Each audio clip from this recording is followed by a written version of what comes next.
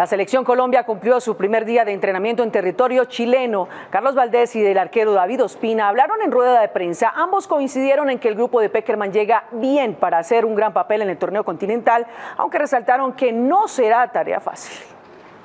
En medio de decenas de hinchas arribó la selección Colombia al aeropuerto Arturo Merino Benítez de la ciudad de Santiago de Chile. Los dirigidos por Néstor Peckerman, que buscan ganar por segunda vez la Copa América, ya se preparan en la tierra austral. En Santiago, en horas de la tarde, el equipo realizó su primer entrenamiento en el complejo deportivo de la Universidad Católica, previo al debut en la competencia continental. Nosotros tenemos que eh, mirar nuestro trabajo, eh, seguir... Eh, aprovechando esta, esta gran oportunidad y lo más importante, seguir creyendo en, en lo que podemos hacer dentro del terreno de juego. El primer examen de la tricolor será el próximo domingo frente a Venezuela, equipo al que buscan superar en sus aspiraciones al título.